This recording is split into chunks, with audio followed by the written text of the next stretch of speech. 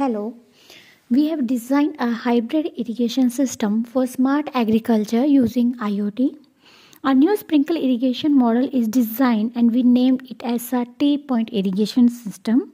Sample of different crops have been shown in this irrigation model.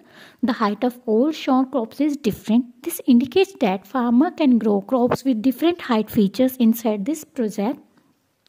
This project will help the farmers to get rid of the problems faced while sowing, harvesting, fertilizing and performing any interculture activities. Farmers have no need to remove or reinstall the pipes during the harvesting time, sowing of new crops or performing any interculture activity.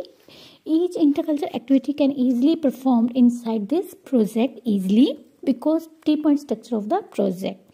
To start the project, we use 2 volt DC power is given to the Arduino UNO, 5 volt DC power is given to the Node MCU and 12 volt DC power supply is used to start the motor and the solenoid valves.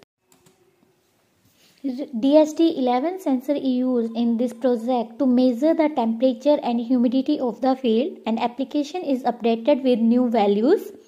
Rain detection sensor has been used in this project to monitor the rain status. If it is raining in the field, then application is updated with raining status. Once the rain stopped, it immediately updates the application with no raining. Water level sensor is used to measure the tank and dam water status. If water tank is empty, then buzzer will start beeping and application is updated with the full empty water tank.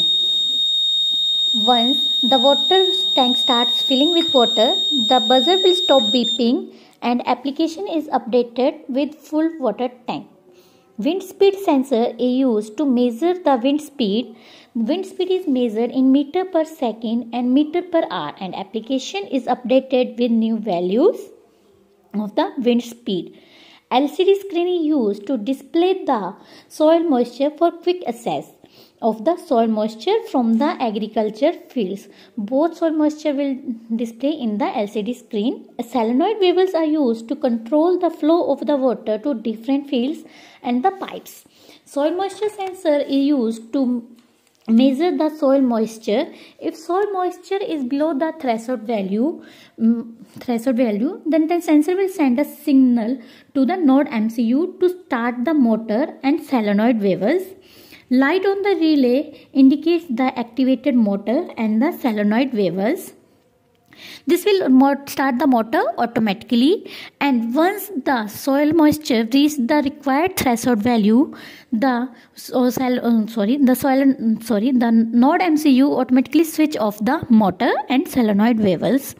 Same condition is applied to the second field. If soil moisture is below the required threshold value, then it will send signal to the node MCU to switch on the motor and solenoid valves. Once the moisture reaches the required threshold value, the node MCU automatically switch off the motor and solenoid valves. Thank you uh, for watching the video.